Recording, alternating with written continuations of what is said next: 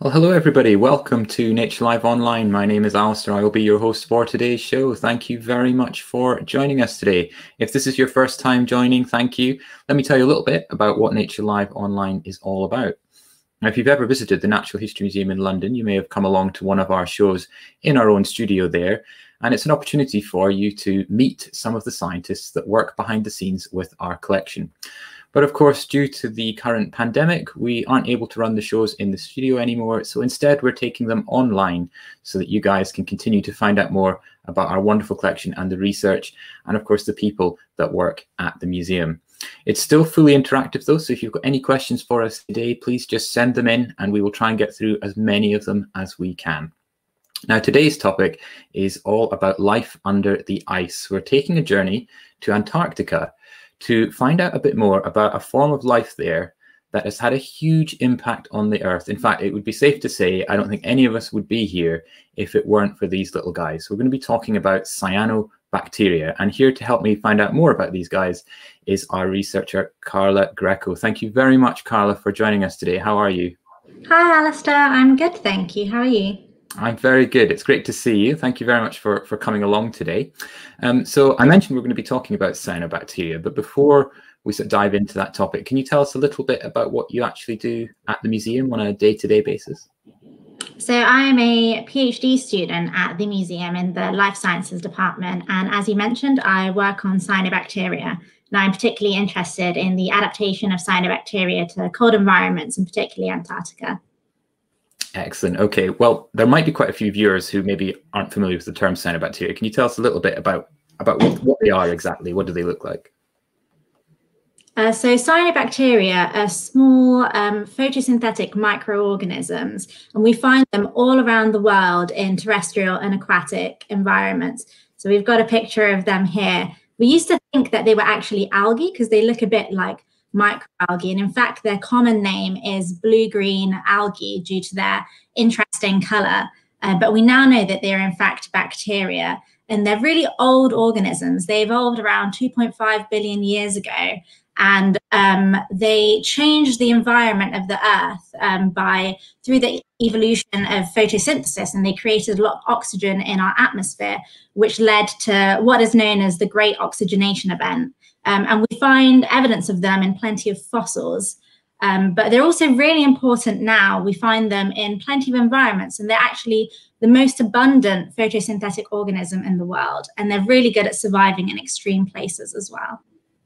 Okay, so yeah, they've got we, we owe them quite a lot then. If um, yeah. you say creating the oxygen that of course we breathe and most other organisms, it's vital for the for them to to, to grow and, and to survive. So they they they have really changed the world. And you mentioned two and a half billion years old as well. So yes. are these? Is it fair to say these are some of the oldest living things on the planet? Yes, they're some of the earliest life forms that we that we know of. Uh, incredible. And we're going today to to look at the the research that you've in particular been doing in Antarctica, but can can we find these cyanobacteria all over the, the planet, or is it just in in certain extreme places, as you said, like Antarctica? Cyanobacteria are everywhere. Um, we find them in just soils, in lakes around the UK. They're um, around um, like in our oceans. They're the most abundant phytoplankton in our oceans. Uh, so they are everywhere, but and that's because they're really good at surviving most environments. So we also find them in extreme places, but yeah, they're around everywhere in the world. So we've got you mentioned as well. They're they're fossilized too. So we've got a mixture of some living examples that are still here today that we can actually see and explore, and the remains of some of those original ones that were so important in creating the, the earth that we know today. Um, if people wanted to find cyanobacteria today, where, where could they go? Is there, is there a place they can go and see them? So um, I mentioned fossil cyanobacteria. So we see cyanobacteria in the fossil record in structures that are known as stromatolites. So these are fossil structures that just look like layered structures, but they are the um, first example that we have of fossilized life. But we still find stromatolites to these day. So um, the picture that you can see here are actually modern stromatolites. So these rock structures are actually created by cyanobacteria. So how this happens is that the cyanobacteria grow and then they trap sediment and this creates these structures that we're seeing here. So we get some really good examples of them in Shark Bay in Australia. We have some in the Bahamas, and we also get some very good examples in Antarctica. Fantastic, yeah, and incredible to think. Like, if I just walked across that, I think I would just assume they were rocks. I, I honestly, I'm not sure I would have given them a second glance and not realised the, the the significance behind what they actually are. Yeah, they're quite unassuming organisms, but those are in fact created by living organisms. They're not just any old rock. So you mentioned that you, you've been to Antarctica to study these. What is it about Antarctica particularly that is is good for studying cyanobacteria? Because it's, as we'll find out in a little bit, it's not easy to get there. It, it takes a long time. It's very very uh, challenging environment to be in. Why do you go to Antarctica in particular to study these things? Uh, so Antarctica is a really good place to study cyanobacteria uh, Antarctic lakes, particularly um, ice covered Antarctic lakes, so lakes that have a sheet of ice covering them all year round, um, are really good environments to study cyanobacteria because they're really low in disturbance. There's not much else there. So There's no, no fish, no animals grazing on the cyanobacteria because it's such an extreme place to live in. Um, and this allows the cyanobacteria to grow all over the bottom of the lake um, which means that we get them in very high abundance. And they're also able to form structures that they wouldn't be able to without any uh, without other disturbances. So it makes it a really good place to go and study cyanobacteria. I'd love to go to Antarctica. I've never I've never been. It's uh, it's obviously uh, it's very far away. I'm not sure right now if we're going to be able to get there anytime soon, given uh, what's going on in the world at the moment. If any of you have been to Antarctica, let us know in the comments. It'd be really interesting to to know your experiences. But you know, what are the conditions like uh, down there? Because you know, other than it being really cold, um, what, what's it like to to be there? Uh, so, as you said, Antarctica is really cold. It's also um, quite dry in a lot of places, which sounds very strange because it's a continent that's covered in ice, uh, so water, but the water is mostly frozen. Um, and um, inside the lake, the conditions of the water are really difficult to live in. They're very extreme. So the water is really cold, it's less than one degree. Um, there's very low light in these lakes because they're covered in a sheet of ice. There's very low nutrients in the water column for organisms to survive on. Um, and some of the lakes can be extremely salty or can have an extremely alkaline pH. So they're very difficult places for an organism to survive in. Interesting. I wouldn't have. I wouldn't have imagined lakes being salty. Are you? Are they saltier than the ocean then, for example? Because obviously a lot of life live in the ocean. No, no bother at all. Uh, some lakes can be extremely salty, especially towards the bottom of the lake. Um, one lake in Antarctica is actually saltier than the Dead Sea. Wow. That's because yeah. the Dead Sea, of course, is famously salty. That so salty you can just float on the top. Yeah. Um, that's okay. Yeah, I can see what you mean by it's being uh, incredibly, an incredibly difficult environment to work in. So, you know, you've got to get under the ice. Um, what, what what were you doing there? Like we can see in the pictures here, it looks like you're you're obviously having to dig some holes. Do you then go diving um, to actually find these organisms? So we had um, a bunch of different activities that we were doing in Antarctica. We collected some sediments. We took cores of the ice of the lake and of the nearby glaciers. We also had a meteorological station that takes readings of the climate in the area. And yes, as you mentioned, we were also diving under the lake. So this is a picture of uh, Dale Anderson, the um, leader of the expedition and the chief diver, who was diving below the um, ice cover of the lake to go collect samples from the bottom of the lake. So incredible. Did you do some diving yourself? Have you been? Uh, been yeah, no, I did not do any diving. Um, but it takes a big crew to actually um, get the um, diving activities happening. So I was um, actually connected um, by um, a communication line to Dale, so Dale could actually speak to us while he was underwater. So I had the job of listening to what he was saying and following his commands um, while he was under the water. Fantastic. Um, so we've had a question come in. Um, uh, this one's from Graham asking, how deep is the lake? Uh, and with the lack of sunlight, how does the, the bacteria grow? Uh, so the lake is um, about 180 meters deep and they found cyanobacterial mats growing to about 130 And the cyanobacteria can grow there because they're really efficient at photosynthesizing. So they've got some pigments in them, which is why they have um, the strange purple color. Uh, it's a particular pigment that they have that allows them to photosynthesize efficiently at really low levels of light. Fantastic. Thanks for your question, Grim. Let's um we let's have a look at this environment because it I, it's absolutely stunning. It's a very strange, almost otherworldly place. You know, because looking at this, this is this is a, a photograph underneath the ice uh, in the lake, isn't it? But it it honestly looks like it, it might have been made by an artist or something. It's such a strange looking environment. So um what we're looking at here is underneath the um, ice cover of the lake. Um, this is the bottom of the lake. And what we're looking at here are microbial mats of cyanobacteria and some other bacteria and small mammals like tardigrades, small mammals, small animals like tardigrades and rotifers. Um, and they're forming these um, interesting structures. Um, they're growing all along the bottom of the lake. And through um, trapping of sediment, and the growth of the cyanobacteria, they're forming these really intricate shapes under the lake.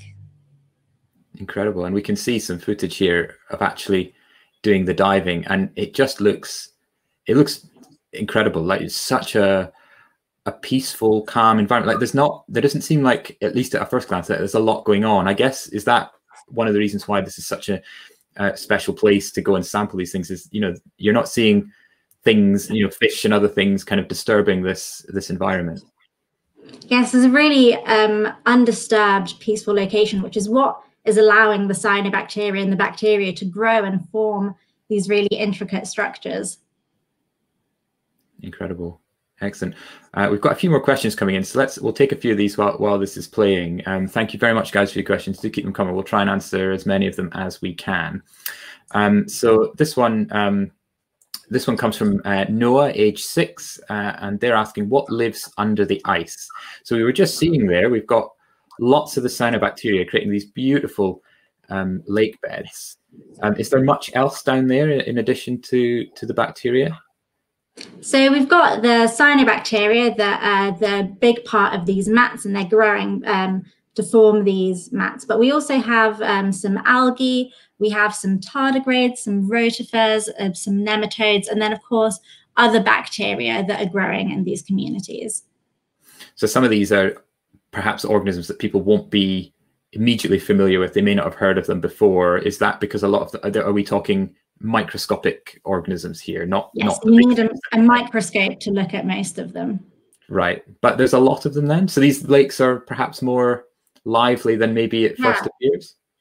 Yeah, there's a lot more diversity of life, a lot more growing that you would expect in such an extreme environment. Excellent. Great. Um, another question, uh, this one coming from YouTube. Um, what is the minimum temperature underwater in Antarctica?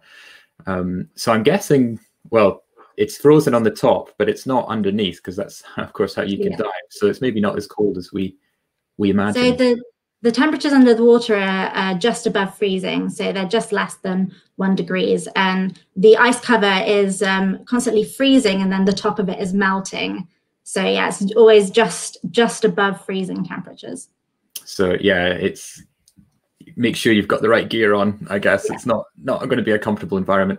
I always think it's funny actually. I, I, I think swimming under ice is something that I always think is it's like I've had nightmares about it. and then you know you can't get back to the the little opening that you came down in or it's frozen over and you can't find it again. That's the stuff i've had nightmares about. I, I don't think i could do it. Well dale is connected by a um, by a tether by a rope. So he'll always be able to find the find his way back. Yeah. so he doesn't have to worry about that. and, it, and it's not going to freeze over before you can do no. that thankfully. Yeah. Excellent. Um, another question this one from kate on facebook. Um, how do the cyanobacteria cope with the pressure at the bottom of the lake? Because you mentioned it was, I think, about 180 meters deep. Was that correct? Um, does does that water pressure affect them at all? Um, not particularly. So they will have some adaptations that allow the proteins to maintain the structure pressure. Cyanobacteria also produce um, kind of a mucus around them, which will help to protect them from the pressure. So yeah, they'll have um, adaptations that help them cope uh, with the increased pressure below the lake. Fantastic. So you know, as well as obviously these organisms are quite interesting in and of themselves. Um, they're, they're, as you mentioned at the beginning of the show, they're they're hugely important in the uh, the evolution of, of life on Earth. We wouldn't have had almost anything else if it weren't for these guys creating that oxygen that got everything else kick-started. But apart from that sort of academic interest, there's a lot of practical interest as well, isn't there? There's you know these these uh, organisms could actually have some useful applications to us in some quite unusual ways, couldn't they? So um, yeah, you're right. Um, studying how these organisms, how bacteria and cyanobacteria are adapted to the cold, can have some really interesting implications for biotechnology. So I've previously mentioned proteins. So these organisms will have some interesting proteins and enzymes, which we could then uh, harness and use in everyday products um, like um, washing powder. Um, that yeah, so learning from cyanobacteria can actually have some implications in um, our future products. I love that idea that something like our washing powder in our washing machines you know, you, you see all these things, you know, advertising that, you know, it works at a low temperature, you know, enzymes allow, you know, breaks down enzymes at low temperatures. So you don't have to have a hot wash on, it uses less energy, that kind of thing. And that sort of technology is coming from these, these things at the bottom of an Antarctic lake. Uh, yeah, so we can learn from these uh, organisms that live in extreme places to actually use in our everyday life, which is incredible. Brilliant. Um, another question. This one's just coming on uh, from Periscope. Is there anything living inside the ice itself? That's an interesting question because obviously, yeah, we're looking at what's going on underneath it, but that yeah, there's a really interesting. Ice, that's a lot of ice, isn't it? Is there anything in there? Yeah, so there will still be bacteria living within the ice itself, and there they've got interesting adaptations which stop them from freezing. So you can actually melt the ice and look at what's living in there. Okay, so there you go. So it, it seems wherever you look, you're going to find some form of life somewhere, which is is remarkable. So let's talk a little bit. I'm I'm really keen to kind of get a bit more of a, an idea of what it feels like to be working in that environment because Antarctica, you know, it's it's it's remote, it's it's hostile, certainly from the point of view of of humans. The bacteria seem to love it, but it's it's not easy for us to to go there. So, you know, tell us a bit about you know how did you you you've been out to Antarctica yourself to find these things. How how did you get there for a start, and wh- where exactly in Antarctica did you go? So the site that we were studying is called Lake Untersee, and it is in East Antarctica, so just below South Africa. Um, and we actually got there by plane. So this is the lake itself. Um, it's one of the largest lakes in Antarctica. It's surrounded by the Gruber Mountains, and you can see a glacier just on the north side of the lake. So to get to Antarctica, we took a plane from Cape Town, which actually lands directly on the ice. So it uh, lands on an ice runway. Um, so all of the people that were going to work for the station and all of our cargo uh, was on the plane, and that's how we got there. Then from the uh, Antarctic uh, station that we were staying in, we some of our team got um, um, snowmobiles, so skidoos, all the way to the lake, and some of us were in a track vehicle, uh, and it was about an eight-hour journey to get to the field site. Eight hours on the ice. That's a long journey.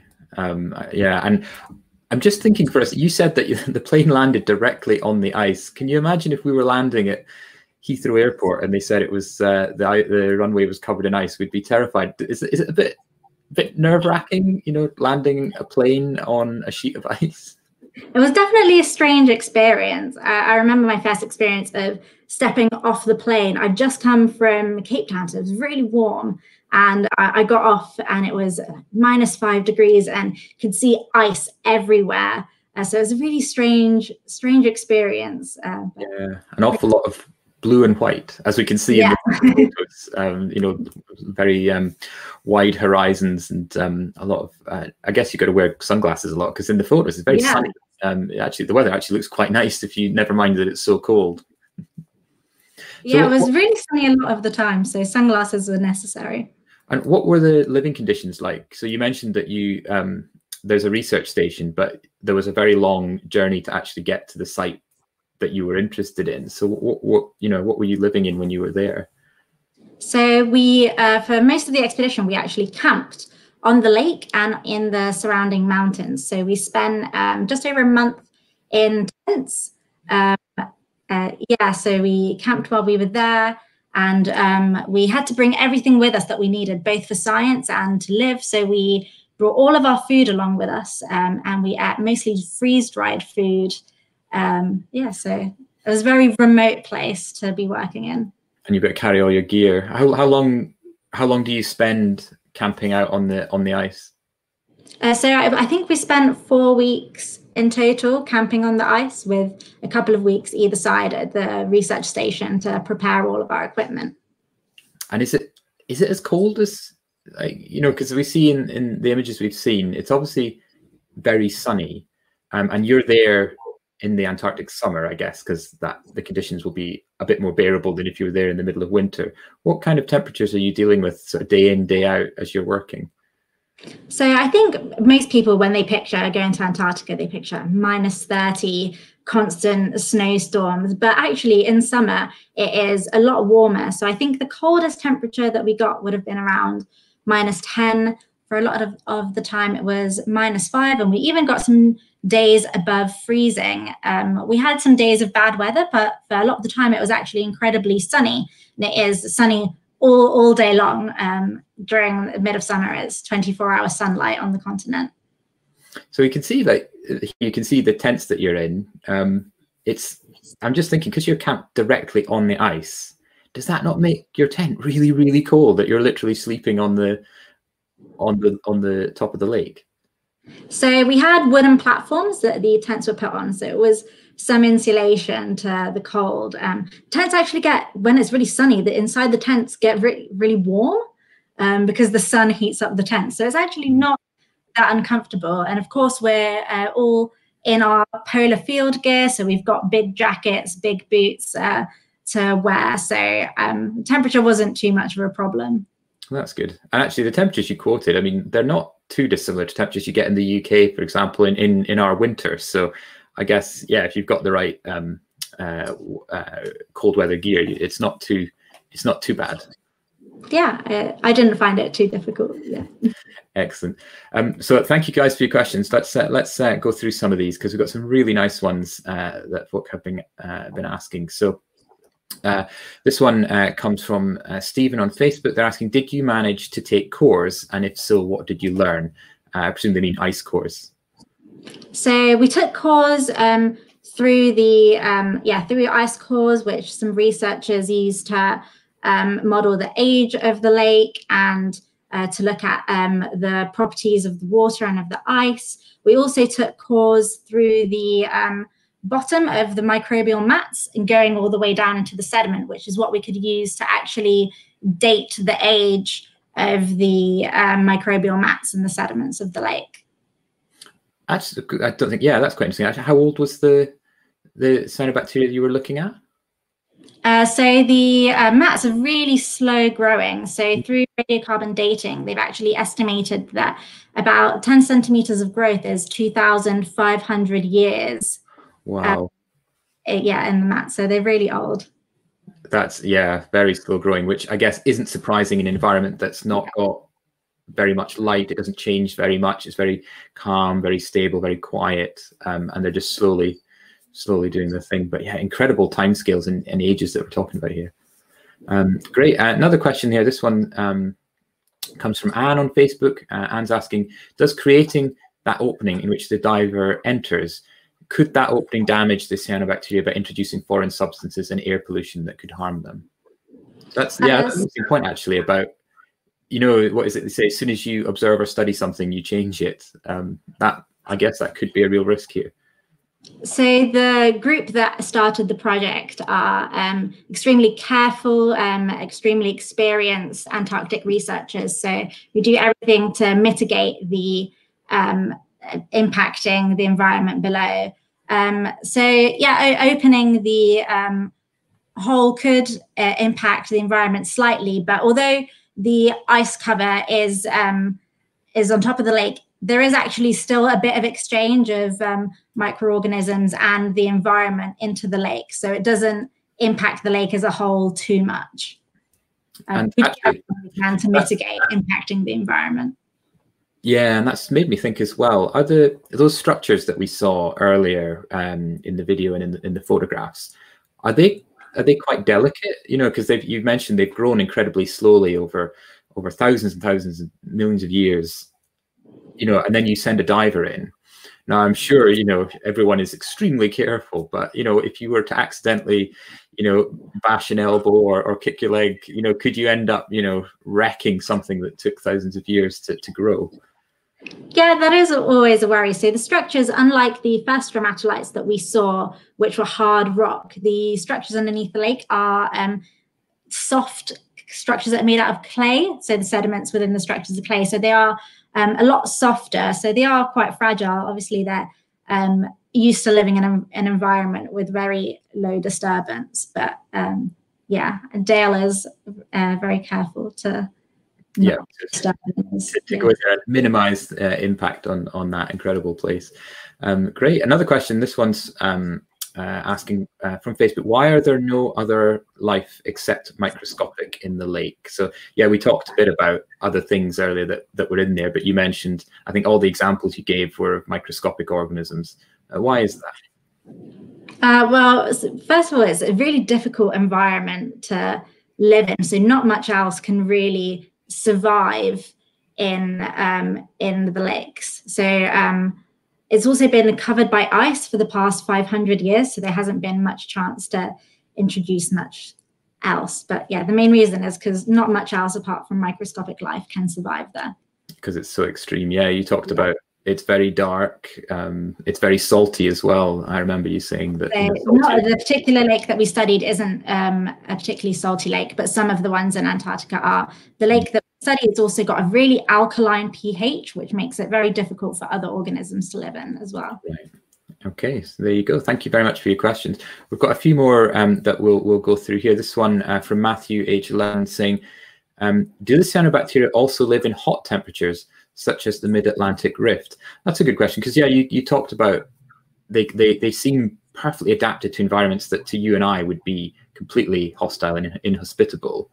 Um, they've adapted well to the cold. Have some also adapted then to the hot? Yes, that's a really good question. So, just like we find cold adapted cyanobacteria, we actually find hot adapted cyanobacteria. So, in some of um, the um, hot lakes that you find in America, uh, um, you find lots of cyanobacteria that are also adapted to living in really hot places. Um, so yeah, so they're very good at adapt adapting to both extremes, both the cold and to extremely hot places. Good stuff. Which actually leads me on to my next question that I want to talk a little bit about was the the impact of something like climate change. You know, we hear about this a lot in the media at the moment, um, and it, places like Antarctica and the Arctic, you know, these these um, very cold places are they stand to be disproportionately affected by any changes in in global temperatures. You know, having been there yourself, did you notice any evidence of the climate change having an impact on the lake that you were studying? Uh, so as as we all know, climate change is having a really big impact on the planet, and actually, it's warming the poles faster than it's warming the rest of the Earth. Um, it's been estimated that in Antarctica, some of the um, the ice-free areas might actually increase by 25% in the by the end of the next decade. Um, so, and we are actually, as researchers, seeing the impacts of climate change ourselves, and we saw this at Lake Untersee. So, researchers have noticed that the number of days above freezing have increased, and we actually last year when we were at the lake, we saw that the lake expanded due to meltwater coming in. And we are not sure about how this is going to impact the organisms uh, underneath the lake, but we're sure it's going to have some impact, particularly if the ice cover of the uh, lake melts and, and uh, moat forms around the edges. This will change the chemical properties of the water um, quite a lot, and um, it might even um, create a transfer of other organisms into the lake. So yeah, it could really affect the community that lives below the lake and the structures that the cyanobacteria form. So yeah, these these um, structures that have taken so long to build, I guess if the if that water chemistry changes too much, then they won't be able to grow. Could they even deteriorate and, and die? And then we, we lose that environment that's taken such a long time to to grow. Um, yeah, if the water uh, chemistry changes dramatically, it is possible that we could lose these structures, um, especially if the types of organisms that um, live underneath the lake change, then this will change what the bed of the lake looks like. So yeah, so it's a possibility. So I'm wondering, like, so this this is this, we've had another question come in. I'm just wondering, thinking, sort of looping this in with um, uh, climate change as well. So this question came from uh, Graham on Facebook. They're asking, what current percentage of all global oxygen can we thank uh, from cyanobacteria? Because and following on from that, I wanted to ask if if the cyanobacteria in these environments dies off because of climate change, is that going to affect how much oxygen we have to breathe? Um, so the organisms underneath the lake, we um, most of the oxygen they produce stays trapped within the lake. But cyanobacteria as a whole, um, I can't give you the number off the top of my head, but um, phytoplankton and particularly uh, cyanobacteria that are part of uh, the uh, group of phytoplankton produce most of the oxygen in our atmosphere. We tend to think about trees as the oxygen producers, but it's actually phytoplankton in the ocean that produce most of our oxygen. Uh, so yeah, the impact of climate change on phytoplankton and on cyanobacteria will have a big effect on um, our planet as a whole. Gosh, yeah. I mean, when you start thinking about it, it's you almost don't want to think about what the ripple. We we, we probably can't even predict what some of the ripple effects yeah. would be um, in the long term. Uh, we may not even be alive to see to see what those changes are, of course, as well. Uh, so yeah, thank you. Good questions there. Um, this is another question coming on off uh, from Periscope. How do cyanobacteria survive the long polar night? Do they hibernate? So yes, you were there in the summer, which is a relatively calm, mild period to be studying them. Um, in winter, of course, there's no in Antarctica, of course, famously there's very little sunlight, if any at all, for part of the year. How do they survive during that period? So there's a really good question. Um, it's quite difficult to study cyanobacteria, particularly in the lake in winter, because obviously the um, the conditions change quite a lot, and it's quite difficult to run an expedition in the middle of winter in Antarctica. But we do know that um, the cyanobacteria will tend to grow in summer when there's light available, and then become dormant over polar nights. So they sometimes may form some resting stages that allow them to survive the winter, or um, they will uh, stop growing um, and then start up again when all the light is available. Right. So they do. They don't sort of hibernate in that sense, but they do have a not in not in the animal sense, but they are dormant. Yeah. Yeah. Excellent. Um, and this is another question. So this is going back to um, you talked earlier about um, the uh, the protein, uh, there's proteins in the cyanobacteria that are of interest to researchers like yourself. Uh, and this question is asking, is the protein extracted from the bacteria renewable? Um, um, I'm guessing, can you keep making it? I guess is maybe the question. The bacteria will keep growing. So it is a, a renewable source in, in, the sense that the, you'll have a culture that's growing and you'll ex extract some of protein from some of the organisms, but the organisms themselves, you'll still get, it's not a finite source. The um, bacteria will keep growing. Okay, there we go. Um, so yeah, we can keep keep using it. Um, this one from Ashley on Facebook. What's the coldest reported temperature in Antarctica? Um, that's a good oh. sort of trivia question, isn't it? I don't know oh, if, uh, if you know. I don't know if I can tell you that off the top of my head. Um, but it is very cold. It'll be in the like minus 50s. It's yeah. I, I think I I you know I used to know this and I can't remember. I think it's somewhere around. I want to say around sort of minus eighty, that kind of um, yeah. um, region. I but don't quote me on it. Um, but yeah, I mean that kind of temperature is frighteningly cold. Um, uh, you, you wouldn't want to be in that for very long. Yeah. But I guess you've been in the summer, and the, the difference in temperature is huge, isn't it? What's the coldest right. you said that you'd experienced there in the summer? Minus ten, I think, is the coldest. Minus ten, still uncomfortable. I don't think most of us would really like it, but certainly more tolerable than something like minus 50 or minus 80. But um, there are people, um, some of the uh, research stations actually stay open over polar winter. So there will be some people who have experienced really, really cold temperatures in Antarctica.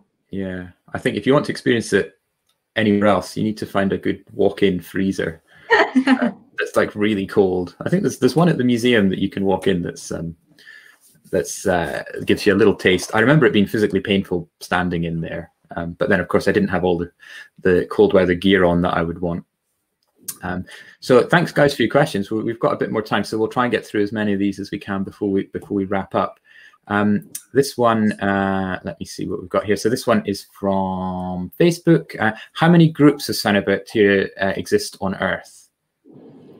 Um, so it's quite a big question off the top of my head. Um, they've got different ways of classifying uh, bacteria because um, so you'll have thousands of species. It's a really, really big group. And then we can categorize them into like different types of cyanobacteria. So I think we've got about like six main groups, but in terms of species, it's thousands. Yeah, it's incredible actually thinking about it. Like, and uh, I'm sure many people watching as well, you know, have an interest in the natural world and things like that. And when we, you know, if you were to list lists as many different kind of animals, plants, bacteria, fungi, all the forms of life you can, and we can't even get close to it because yeah. looking at like a group like cyanobacteria, which have been so fundamental to all the other life that we we might talk about. You know, it's we, you couldn't list them all. There's just so many. Yeah, we're still finding new species all the time and still redefining what the groups are because um, although some of them may look very similar, they're genetically quite different. And we're yeah, we're still working out the evolution of a cyanobacteria.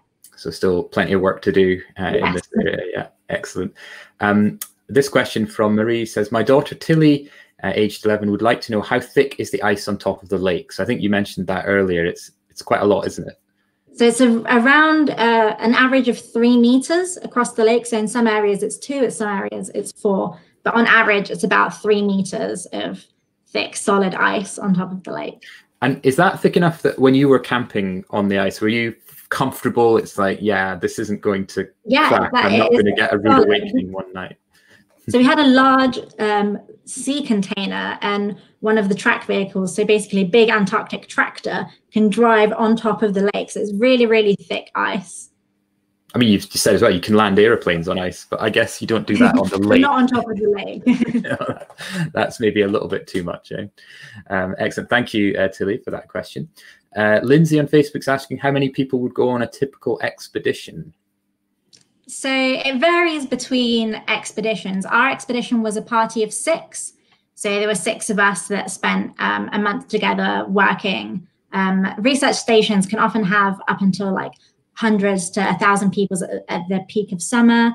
Uh, so and but you can also get expeditions of just two people uh, in Antarctica. So it really depends on what the expedition was. Gosh, two people. That, that I hope you like the person you're with. That's that's, that's pretty hardcore. If you're in Antarctica with one other person and there's no one for thousands of miles. Um, but yeah, it, so it, I guess it's in some places it must there must be quite a hub of activity around these research stations, especially in the summer, as you say, with a lot of researchers like yourself coming in to to do work like this. Uh, yeah, so uh, the uh, American research station is really big. It's almost like a small little town. Uh, but then some of the other ones are really small, which have a maximum of eight people uh, at the peak of summer. So it really depends on um, the stations. But Antarctic research is really like, vibrant and interesting community of people to work with.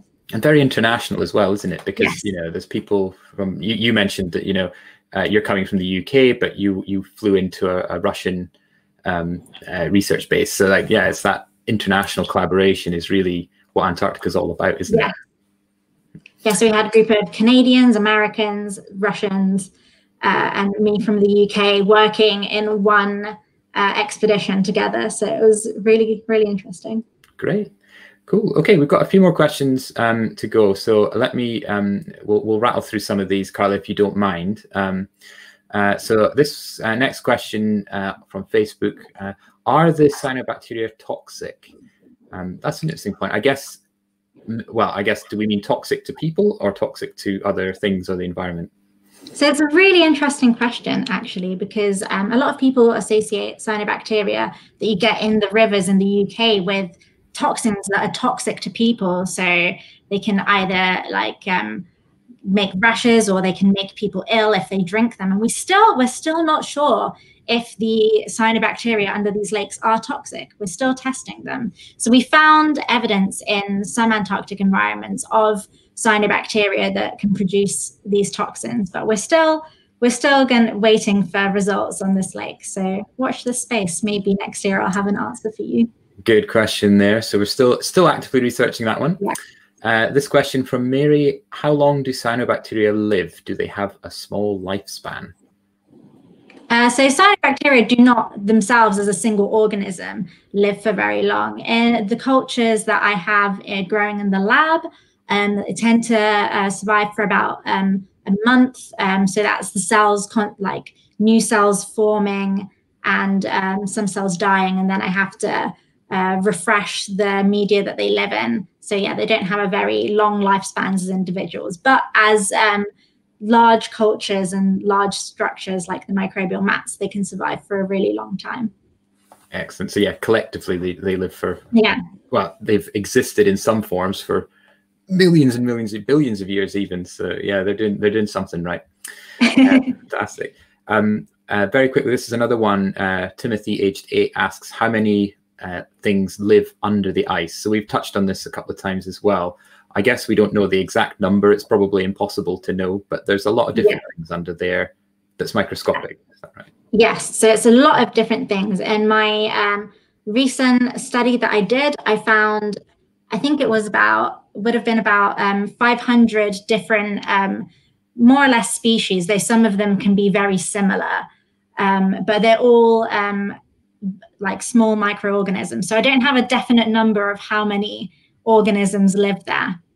Yeah, that's, that's a tough question, Timothy, to know yeah. how many of these really tiny things, but uh, it's certainly a lot. But I think there's a good point there to make about I don't think most of us in our sort of day to day actually think or appreciate about the incredible diversity of microscopic life. You know, we think about when we think about diversity of life, we, I think we always gravitate towards things like the mammals and the birds and the fish and so on, which you know they look they're easy to see, they look beautiful, but actually the diversity of microscopic life is enormous. Like it must like absolutely dwarf anything else. But because it's a lot harder to see, it's not at the forefront of our minds in the same way. Yes, there's an incredible diversity of uh, microbial life and small things that we can only see under the microscope, and some things that we can't even see under the microscope. And they're all um, using nutrients in a different way. That some of them are photosynthesizing, some of them are only respiring, and they, um, yeah, so they're really, really diverse organisms. But maybe sometimes they're a bit overlooked because obviously we can't see them. Yeah, well, yeah, it's. It, I think there's a lot of great research to, to do and i think as the years go on we're going to discover more and more about that that world and, and the lake that you've you've been uh, visiting as well. I'm sure will build up an even more detailed picture about what's actually living in there. Um, so i'm going to take one last question from you guys. Thank you very much for all your questions. This one uh, came in from periscope. Uh, will we have new pests and diseases as the tundra thaws and uh, very topical here, will more pandemics result from this thaw? So that's an interesting one. You know, we talk about microorganisms, isn't it? And you know, as if as the environment changes, whether that's through direct human intervention or climate change, could we start seeing new things emerging from these environments that might affect um, It is possible. I, I don't think I'm the best person to answer this question, but it is true that they've found some um, other viruses and some microorganisms that have been uh, defrosted uh, from the ice. But whether this is going to cause any other pandemics, I, I'm not. I'm not too sure who knows? Yeah, big big question mark there. We've got a lot uh, a lot still to learn. But um, thank you very much, guys, for all your questions. It's been lovely uh, to to receive them, and thank you, Carla, as well, for taking the time to to answer some of them. Some tough ones in there for you, but you did uh, you did a good job.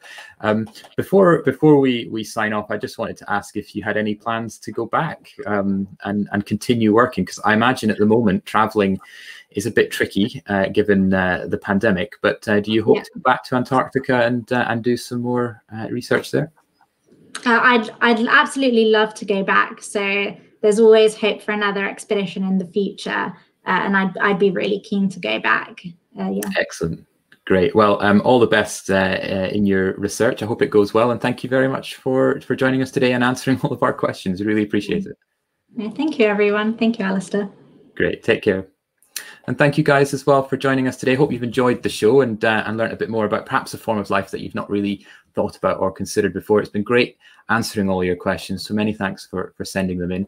If you enjoyed the show and want to find out more about uh, the work that our researchers at the Natural History Museum in London are doing, then you can join us every Tuesday and Friday. It's a different topic with a different speaker every day, uh, and we are always happy to take any of your questions in the show. So thank you very much for joining us today, and we hope to see you again very soon.